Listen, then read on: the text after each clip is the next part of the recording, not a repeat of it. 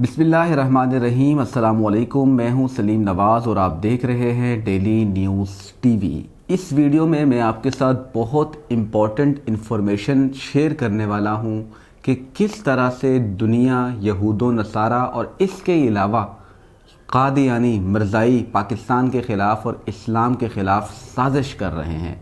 वैसे तो fake news का कारोबार पूरी दुनिया में सरगर्म है और दूसरा मैं आपको बता दूँ कि मैं इसके सबूत दिखाऊँगा आपको और आप ख़ुद भी सबूत को गूगल पर सर्च कर सकेंगे।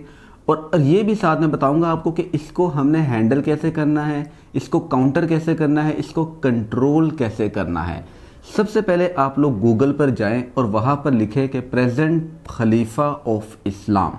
जब आप ये लिखेंगे तो आपके सामने ये सब कुछ आ जाएगा। आप दुनिया के किसी भी कोने में खड़े हैं, बैठे हैं तो वहाँ पर आप बैठकर ये सर्च करें अपने मोबाइल पर, अपने लैपटॉप पर, अपने कंप्यूटर पर, किसी भी जगह पर गूगल पर सर्च करेंगे तो आपके सामने ये वाला पेज खुल जाएगा, जिसके टॉप पर मिर्ज़ा मसरूर अहमद की तस्वीर, उसका नाम लिखा हुआ, साथ लिखा हुआ लिखा हुआ है कि जनाब ये खलीफा है।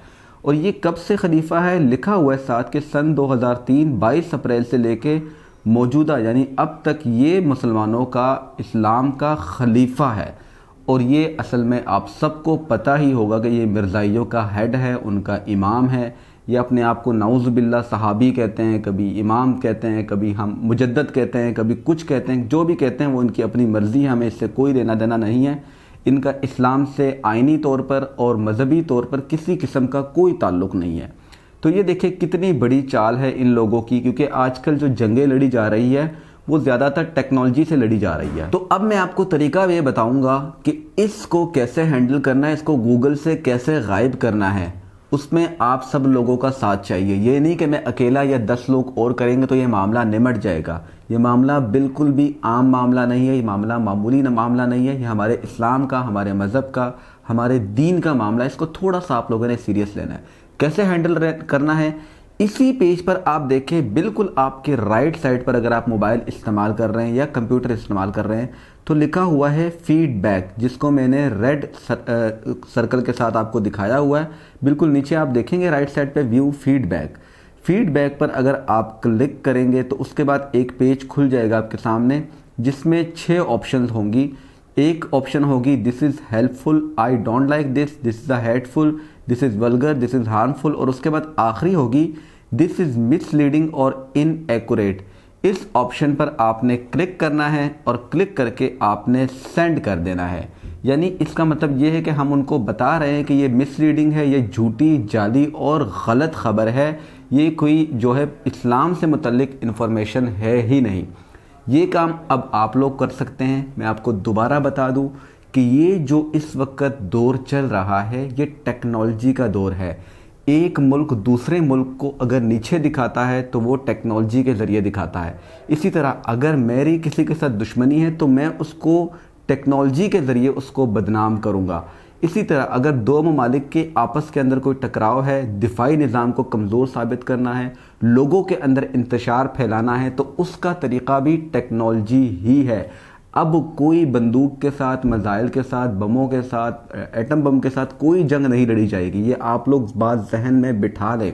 और इसका एक अमली नमूना और भी मैं आपको दिखा देता हूँ कि आज से पंद्रह साल से पंद्रह साल से पाकिस्तान के ख़िलाफ़ इस्लाम के ख़िलाफ़ पाकिस्तान की सलामती और अमन के ख़िलाफ़ हिंदुस्तान दुनिया भर में साढ़े सात सौ से ज़्यादा जा, जा, जाली वेबसाइट्स चलाता रहा।